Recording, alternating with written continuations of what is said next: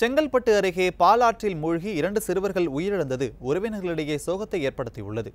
செங்கல்பட்டு மாவட்டம் பாலூர் பகுதியைச் சேர்ந்த கணேசன் என்பவரின் மகன் சஞ்சய் நண்பருடன் பாலாற்றில் குளிக்கச் சென்றுள்ளார். நீண்ட நேரமாகியும் இருவரும் வீடு திரும்பாததால் சந்தேகமடைந்த உறவினர்கள் காவல்துறையினர் மற்றும் தீயணைப்புத் துறையினருக்கு தகவல் கொடுத்துள்ளனர்.